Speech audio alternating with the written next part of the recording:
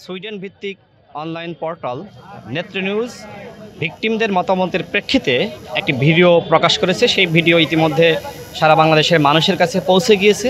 সেখানে আমরা দেখেছি যে দুইজন ভিকটিম তারা বক্তব্য দিচ্ছে এবং তাদের সাথে যে ধরনের ঘটনা ঘটেছে, সেই ঘটনাগুলো তারা ব্যাখ্যা করেছে এবং একই সাথে ওই আয়না ঘরে কারা কারা রয়েছে তাদের কথাও কিন্তু বলেছে।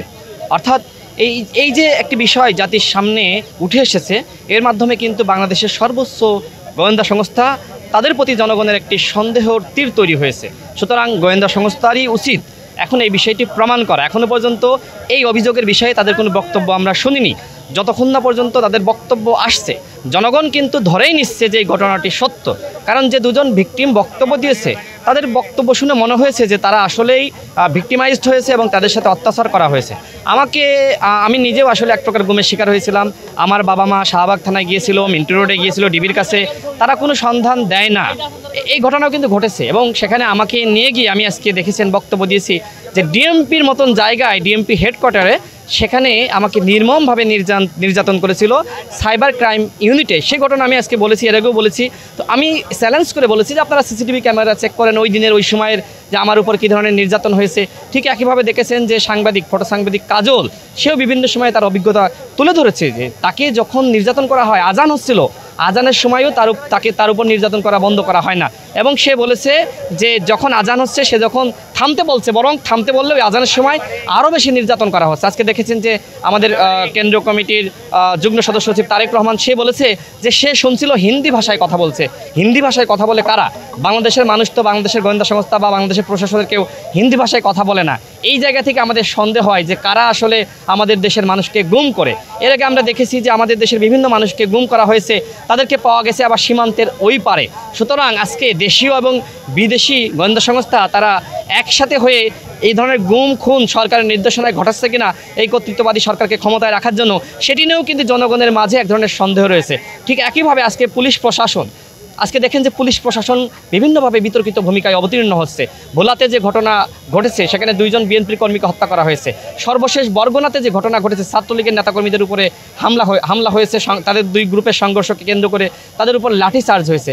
আজকে দেখেন যে এই ধরনের যে একটি ফেসিবাদী ব্যবস্থা বাংলাদেশে কায়েম হয়েছে, যে একটি পুলিশি ব্যবস্থা বাংলাদেশে কায়েম হয়েছে, এটি থেকে যদি আপনি আজকের রাষ্ট্র ব্যবস্থাকে আপনি পরিবর্তন না করতে পারেন পুলিশের যে আগ্রাসী আচরণ সেটিকে যদি বন্ধ করতে না পারেন, তাহলে আমি আপনি কেউ কিন্তু নিরাপদ না। সুতরাং একটি নিরাপদ বাংলাদেশ গড়ে তুলতে হবে এবং সেই জন্য যেহেতু আওয়ামী লীগ সরকার তাদেরকে নিজেদেরকে মুক্তিযুদ্ধের চেতনাবাহী কাণ্ডার হিসেবে নিজেদেরকে দাবি করে তাদেরই উদ্যোগ নিতে হবে, কারণ মহান মুক্তিযুদ্ধের মূলনীতি ছিল সাম্য মানবিক মর্যাদা, সামাজিক সুবিচার বাস্তবায়ন করা। কিন্তু আজকে দুঃখের সাথে বলতে হয় যে আজকে সেটি বাস্তবায়ন না হয়ে বরং আমরা দেখছি আজকে গুম খুনের রাজ্য হয়েছে।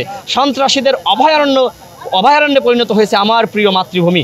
আজকে আমি নিরাপদ না। আয়না ঘর নিয়ে যারা যারা কথা বলছে, আজকে না বলুক, কালকে না বলুক, পরশু না বলুক, এক বছর, দুই বছর পরে দেখবেন তারা গুম হয়ে যেতে পারে, তারা উধাও হয়ে যেতে পারে। সেই বাস্তবতা আপনি যদি পরিবর্তন না করতে পারেন, এই, এই- সময়ে যা চলছে, গুম, খুন, এগুলো বন্ধ করতে না পারেন, তাহলে কিন্তু সেটি, সেই বাস্তব অভিজ্ঞতার সম্মুখীন আজকে আয়না ঘরে যারা হয়েছে, যারা বাইরে এসে কথা বলেছে, যারা ভিতরে রয়েছে, ঠিক একই ধরনের অভিজ্ঞতা আপনার আমার সাথে হতে পারে। সুতরাং আমরা মনে করি, যে অভিযোগটি এসেছে, গোয়েন্দা সংস্থার উচিত হবে সেই অভিযোগের বিষয়ে যথাযথ বক্তব্য দেওয়া একই সাথে সাংবাদিকদেরকে সেখানে অ্যাক্সেস দেওয়া। সাংবাদিকরা গিয়ে যাতে করে বলতে পারে যে নেত্র নিউজ যেটি বলেছিল সেটি মিথ্যা। প্রমাণ সহিত দেখাতে হবে। লাইভ টেলিকাস্ট হবে। সেটি যদি করতে পারে তাহলে জনগণ বিশ্বাস করবে। অন্যথায় আমাদের সর্বোচ্চ গোয়েন্দা সংস্থার প্রতি মানুষের একটি কিন্তু আস্থা বিশ্বাস ছিল, সেটি কিন্তু থাকবে না। আজকে দেখেন মানুষ যখন বিপদে পড়ে, যখন প্রাকৃতিক দুর্যোগ হয়, যখন দেশে ক্রান্তিকাল শুরু হয়, তখন কিন্তু সবাই সেনাবাহিনীর উপর ডিপেন্ডেন্ট হয়ে যায়। সেই সেনাবাহিনীর গোয়েন্দা সংস্থার বিরুদ্ধে ধরনের অভিযোগ আসছে। এটি আমি মনে করি যে সরকারের উচিত।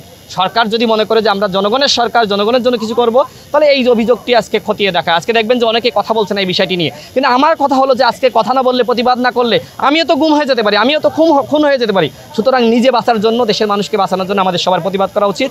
আজকে আয়না ঘরের যে তথ্য আমাদের কাছে এসেছে, সেটির জন্য অবশ্যই গোয়েন্দা সংস্থা ডিজিএফআই তাদেরকেই অবশ্যই জনগণের কাছে যথাযথ বক্তব্য দাঁড় করাতে হবে। অন্যথায় আজকে বাংলাদেশ কোথায় গিয়ে যে পৌঁছাবে, সেটি আমি আপনি কিন্তু বলতে পারব না। আমরা এমন একটি বাংলাদেশ চাই, বিশেষ করে গণ অধিকার পরিষদ এমন একটি বাংলাদেশ চাই, যে বাংলাদেশ হবে সবার জন্য নিরাপদ, যে বাংলাদেশে ন্যায় বিচার থাকবে, আইনের শাসন থাকবে, যে বাংলাদেশে গণতন্ত্র থাকবে। আজকে শুধুমাত্র ভোটাধিকার দিয়ে আপনি গণতন্ত্র রক্ষা করতে পারবেন না। সরকারের বদলে সরকার আসবে, কিন্তু ফেসিবাদী ব্যবস্থা কিন্তু থেকেই যাবে। সুতরাং আমরা মনে করি, আজকে দেশে গণতন্ত্র প্রতিষ্ঠা করা দরকার, ন্যায় বিচার প্রতিষ্ঠা করা দরকার, আইনের শাসন প্রতিষ্ঠা করা দরকার। মেধার ভিত্তিতে প্রত্যেকটা সাংবিধানিক প্রতিষ্ঠানে নিয়োগ করতে হবে।